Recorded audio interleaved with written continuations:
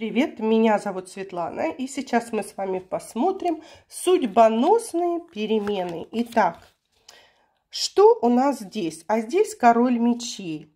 А, знакомство с нужным человеком. Для кого-то это любовь, для кого-то это нужный человек. Это мужчина а, в форменной одежде. Это может быть э, юрист, экономист, э, медик, хирург человек может быть э, другой национальности, других взглядов на жизнь. Человек очень э, резкий, самостоятельный, очень э, развитый. У него ментальный, ментальный план очень высокий.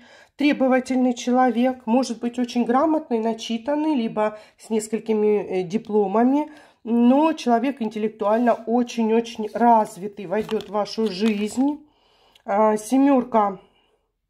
Вы знаете, а, я думаю, что для вас это будет тяжелое какое-то испытание знакомства с этим человеком. Но это все по судьбе. И тут, как жернова, у нас тоже колесо фортуны. Вы знаете, а, вам нужно будет принять вот это вот знакомство с человеком, потому что, и может быть даже вытерпеть его какие-то а, не очень лестные высказывания в сторону вас, да, потом я могу вам сказать, что а, вам гарантирован большой какой-то праздник.